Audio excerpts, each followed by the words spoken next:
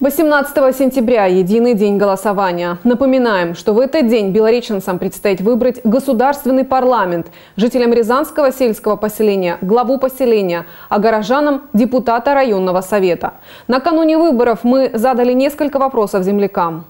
Ну а как же? Выборы. Выборы. Местный совет. У нас идем выбирать Мы ходим всегда.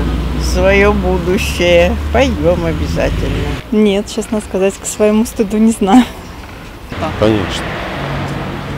Выборы. Наверное, голосование будет за депутатов в Думу. Нет, не знаю. 18 сентября. Для города для этого? Или вообще?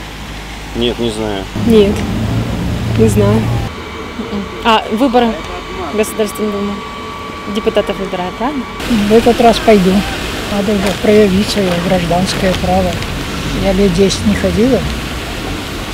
Вот, потому что нас игнорировали, не приглашали, никто не приходил, даже где голосовать не знали. Ну вот сейчас принесу пригласительные, пойду. Нет, некогда нам. Не понимаем сейчас. Пока с детьми некогда ходить. Обязательно, как же, конечно. Нужно свой голос отдать. Конечно. Обязательно.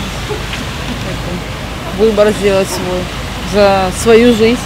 Ходим с детьми. Ну как почему? Выбор каждого человека сделать, внести свой вклад, так сказать. Как-то вот так. За что голосуем, то и получаем.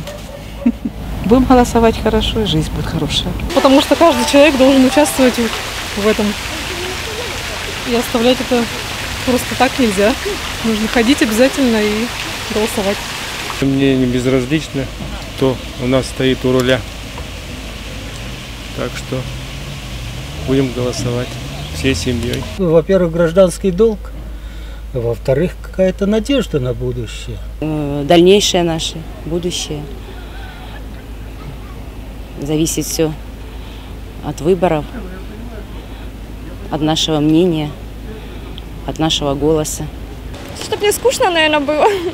Может, все-таки какой-то хороший депутат попадется. Нет, я не голосую. А почему?